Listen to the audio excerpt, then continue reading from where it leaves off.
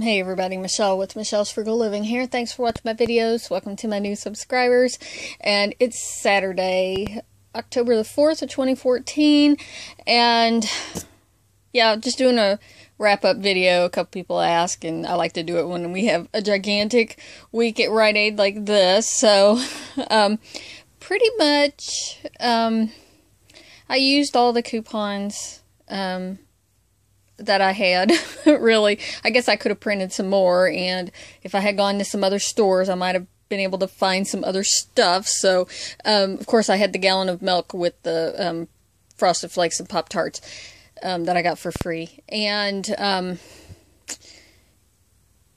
yeah, oh, and I bought some batteries that day also that were on clearance, but I don't have them here. So, um, yeah, that this is what I got. A whole lot of Head and Shoulders right there. That that was a really good deal on that, and um, all those Pantene stylers. Actually, there's a mousse missing. It belongs in that hole there. um, and certainly, I could have bought more Pantene or done the that whole um, P&G deal right there. Some more. Um, didn't feel like I needed to.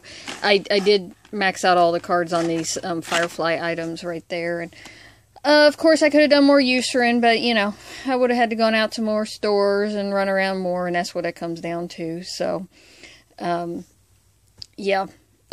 so, um, but yeah, the video values were really what made a big difference, you know, with the Dove products, and um, so in these Dove, so that's why I kind of quit with that. That Eucerin and Aquaphor was the same deal, and um, used up all my video values on those um, Aquaphor baby items right there, and um, and did the um, Tide and Dawn deal twice. Um, yeah, it was a pretty good week. I didn't add up how much this cost me, but I think out of pocket actual money, other than tax, because tax is always a killer. Um, how much money? It probably was less than two dollars, um, and then all that tax um, for all this stuff. Otherwise, I paid with UP Rewards, and um, I have a lot. I still, I mean, I think I started with like 40.